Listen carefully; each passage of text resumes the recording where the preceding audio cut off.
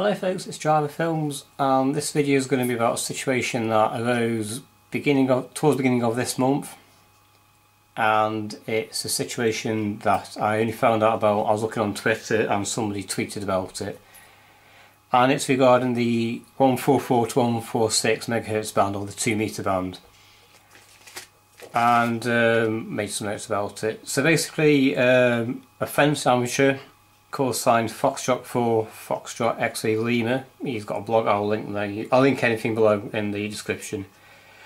Uh, blogs about it and apparently um, Thales Group who do all this unmanned aircraft stuff want to use the 2 meter amateur radio band for their little drones. Uh, there was a SEPTA meeting about this and they said that is needed for the non-safety aeronautical border control, fire and surveillance and apparently there are not any set frequencies for that purpose. Uh, that was 17th to the 21st of June from the SEPTA meeting. Also the one about the 23 centimetre band, um, apparently it's interfering with the Galileo GPS system. Well that's that's not band not looked into but uh, during this CEPT meeting on this proposal there were 13 attend attendees, uh, six of them for corporate companies and four of them, of the six, were from Thales Group. And apparently in that meeting, they have one every year, it wasn't strong, strongly opposed. Now that starts to worry people quite a bit. The 2 meter band is one of the easiest bands to get onto. You don't need much equipment to do it, it's just a cheap handheld, you know, go on Amazon, eBay, wherever. Get yourself a Baofeng you on 2 meters and as radio equipment can be expensive it's the cheaper option but I'll do more of this of the video. Anyway,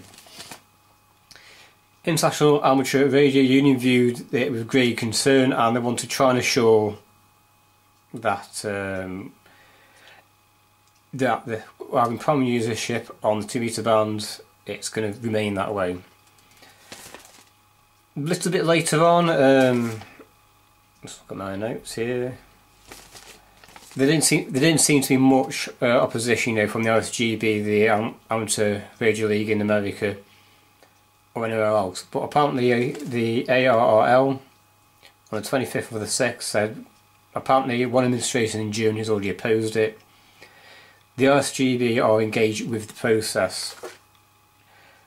And there's been some talk on Facebook, oh well, you know, there's, there's no point, two metres is dead. Or, uh, oh, we'll let the RSGB get on with it, we don't need to do anything. Well, in all honesty, yes, they're fighting our corner in United Kingdom. The ARRL may be doing that in America. I mean, this only affects Europe anyway, but it has wider purposes, wider complications. Um, don't know what the French equivalent is, but they should be fighting it. We all should be fighting it.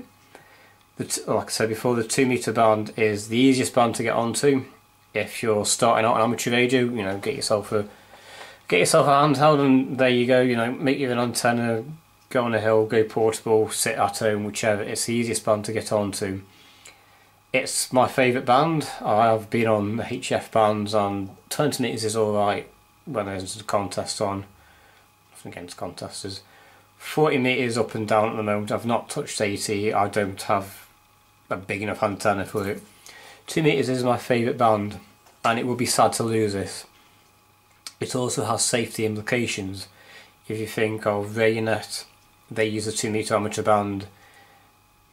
Uh, you got the repeaters, um, don't you remember a year ago, year and a half ago, there's a guy in Bristol monitoring a repeater and an emergency call came through. Someone on, um, I think it was Exmoor, Dartmoor, she needed medical assistance and amateur radio operator got through to the Peter. He contacted emergency services. I'll link that below also as well. So there's safety implications. There's that many repeaters in the United Kingdom. I'm sure there's loads in France that use a two meter band. It'd be difficult to kick them off. You also got satellite downlinks. The International Space Station has the downlink.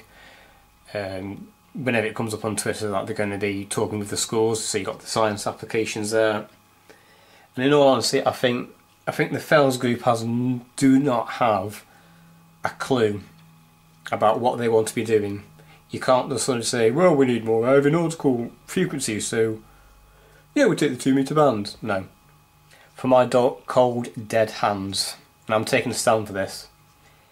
This won't go hopefully this will not go through. But if it does, how are they going to place it?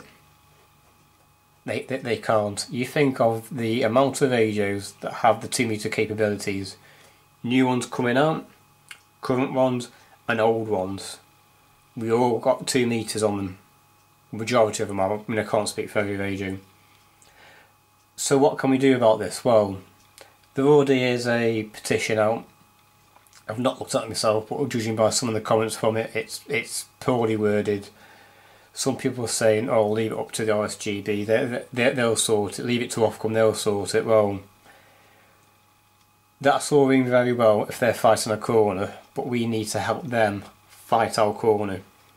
So here's what we can do: get on the two meter band as much as possible, create as much traffic as possible, because if the Thales group have any brains behind them, they may be monitoring the two metre band. They, they could just switch on five minutes and hmm, it's dead. Uh, let's monitor it all day.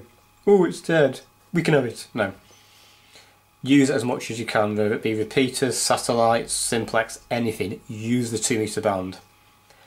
When you upload this video, it's going to at Thales Group when it links it to Twitter.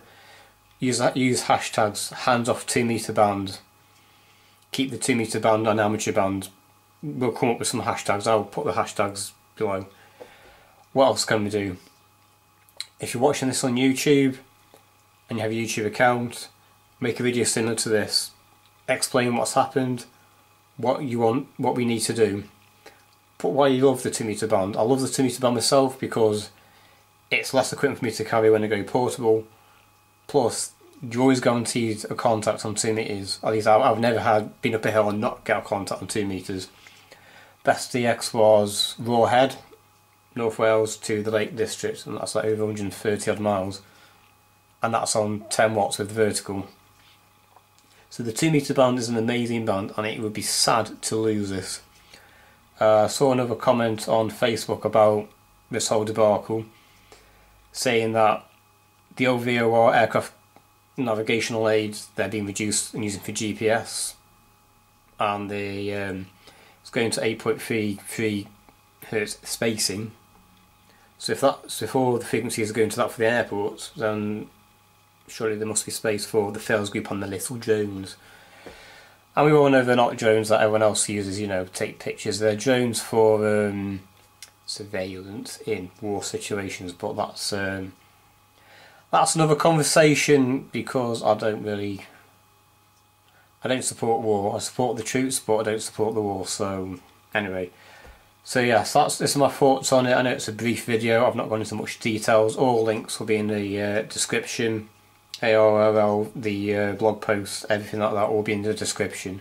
We need to fight this. We need to help the RSGB and all the regions. We need to help them fight. Because for one thing I am not losing the 2 metre band.